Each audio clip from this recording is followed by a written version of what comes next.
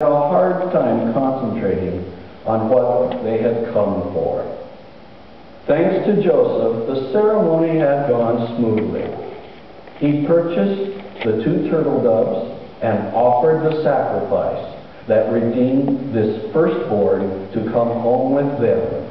And she had undergone the rites of purification the law prescribed for women after childbirth.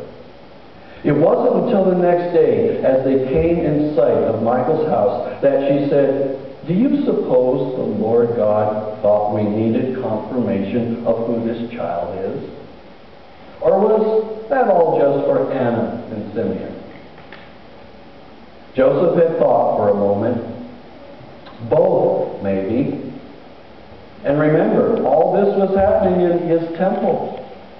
I think Simeon and Anna were representing all Israel, and it may be their job to pass on the word that the Lord God has kept his holy promise and sent his Son as Messiah. That's scary, Mary said in a small voice. Wonderful, but scary.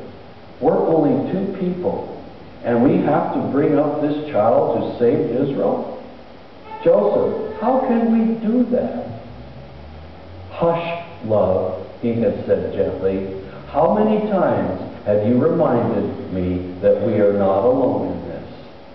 That the Lord God is watching over us and protecting us. That nothing's going to happen to this child that he hasn't planned. Have you forgotten? I haven't, and it's all true. I promise you, we'll be fine, and so will he. That had been her reminder for the next several years of what she had come to call the quiet time. Between the tumultuous beginning and, well, she didn't know quite what was going to follow this life of preaching and teaching Jesus was leading now. He was the Messiah, but he didn't seem to want people to know about it. At least he wasn't announcing it. He seemed these days to be making a point to tell people he healed not to say what he had done. Also, she'd begun to notice the growing hostility of leadership, scribes, Pharisees, maybe even the priests, though she didn't know that. Not for certain. Well, time enough for that when it happened. Having finished up the vegetables, she tucked up her skirts and went out to weed her tiny garden. She'd always found work in the earth soothing, and today was no exception. Her mind returned to that day of his presentation, to the evening when she thought everything new and upsetting was over. That all they had to do was to go back to Nazareth and let the whole set of experiences sink in as they learn to live with each other and Jesus and to teach him how to be a good man and faithful child of God. But she had been wrong, as it turned out. They'd gone in, had their supper, finished their packing, and just blow out the lamp when they heard a quiet knock at the door. Joseph picked up a length of firewood, and Mary snatched up Jesus, wrapped him in his blanket, and held him tightly to her heart. Joseph cleared his throat and asked, Who's there? Magi from the east, came a startling reply in heavily accented Hebrew. We watched his star rise in the east, and we followed it here. It stands over your roof now we have come to pay homage to the infant who is King of the Jews. Mary and Joseph looked wonderingly at each other, and Joseph unbarred the door. Seeing the strangers in fine clothing, Joseph put down the stove and stepped outside, turned to face the house, and gazed up at the sky. Then he smiled and turning, ushered them in, nodding to Mary and mouthing, It's there.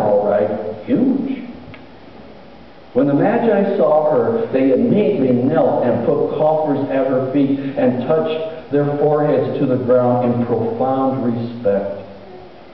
In response, she opened the blanket and stooped, and they rose to their knees and gazed at him with their hearts shining through their eyes.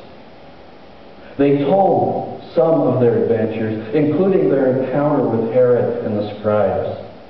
Frightened to death, they had described the king.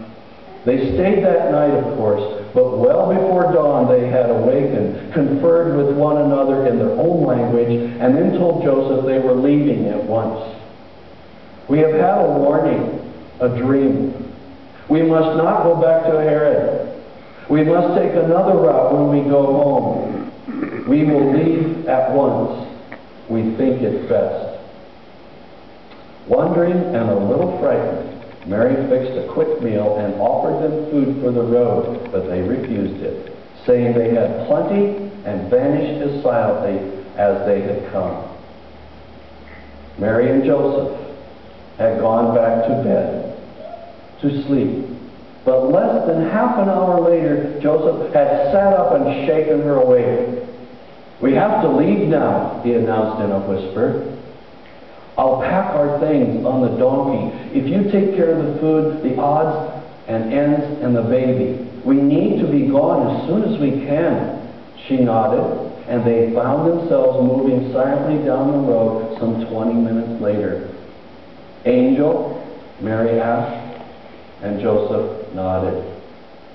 We're going to Egypt.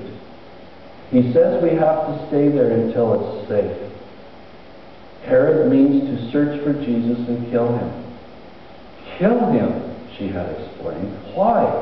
What's he ever done to Herod? Joseph glanced at her. Been born, he answered. At least that's my guess. I think he sees Jesus as a threat to him. After all, the Magi did say he was the new king of the Jews.